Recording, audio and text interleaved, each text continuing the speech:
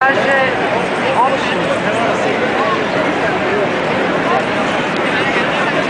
A šta ćete video? Pa pošto ne može slikom. Šta uhvatiš ti? Posjećaš mi se slikama.